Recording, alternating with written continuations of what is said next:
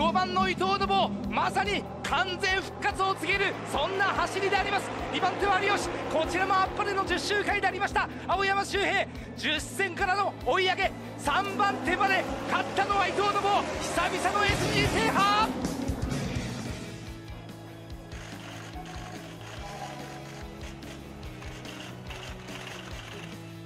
本当嬉しいですね。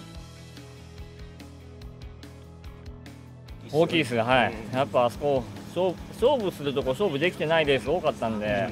最近ちょっとできるようになったんで、やることやってダメならないんですけど、勝負ビビってたらしょうがないんで、それ切れたのは大きいですね。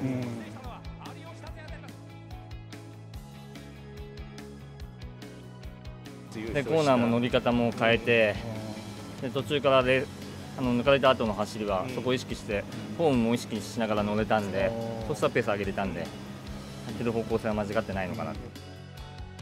スタイルも違うしマフラーも変わってるんでレースのスタイル自体が変わってるんでやっぱ同じことやってても勝てないんでそこに順応できたのは大きいですね。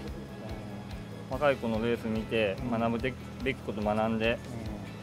勝てると思わなかった。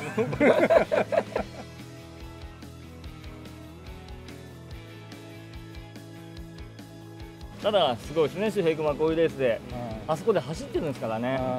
後ろに人がいるっていうのは、やっぱそこ、元気に受け止めないと、敬うところを敬って、すげすごいな、はい、自分にはできない場所でレースしてるんで、